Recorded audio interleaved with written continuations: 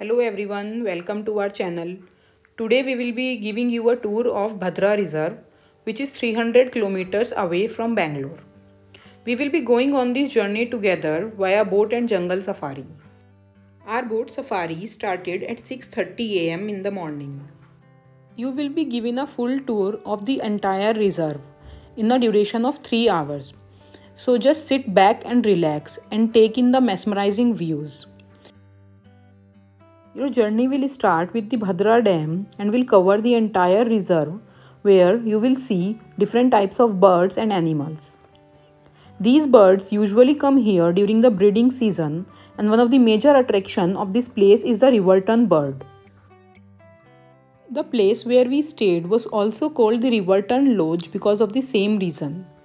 We will give you a tour of that place separately so please don't forget to follow and subscribe to our channel.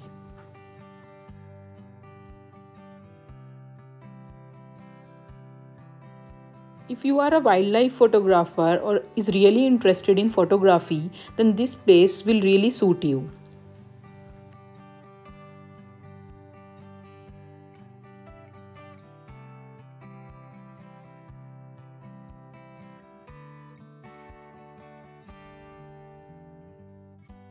In front of you are two islands connected by that bridge. This is where our lodge was actually located. Some water activities were also part of the package for free. After the boat ride, you can go and choose to do any of these activities. Although please keep in mind that the duration of these activities is limited and this is the last activity before the checkout. So please go and enjoy. Jeep Safari is also included as part of the package. This will give you the opportunity to sight various animals.